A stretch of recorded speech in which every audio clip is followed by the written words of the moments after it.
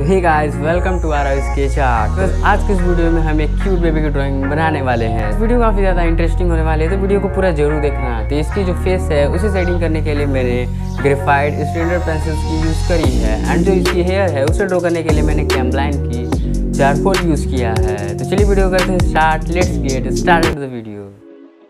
तो जैसे कि मैं आपको बताया कि जो इसकी हेयर है उसे टोकने के लिए मैंने चारकोल का यूज़ किया है तो आप देख सकते हो जो इसकी हेयर है मैं वहाँ से स्टार्ट कर रहा हूँ तो इसकी हेयर को टोकने के लिए मैंने फर्स्ट लेयर हार्ड चारकोल का यूज़ करके दिया है जो कि काफ़ी ज़्यादा लाइट सेंसेस होती है एंड जब हम हेयर को ड्रॉ करते हैं तो लाइट से ही डार्क की ओर जाना होता है या कोई भी हम फेस भी ड्रॉ करते हैं तब भी तो आप देख सकते हो जो हार्ड चारकोल है काफ़ी ज़्यादा लाइट होता है इसलिए मैंने उसे फर्स्ट स्टॉक दे दी है जिस तरह से हेयर की डायरेक्शन है उसी तरह से देन मैं अब सॉफ्ट चारकोल का यूज़ करके इसे डार्क करूँगा तो आप देख सकते हो इसी तरह से आपको एक स्केच को ड्रॉ करनी होती है एंड हेयर को ड्रॉ करना होता है अगर चारकोल से आप करते हो तो सो so, इस वीडियो को पूरा देखते रहिए keep watching and enjoy the video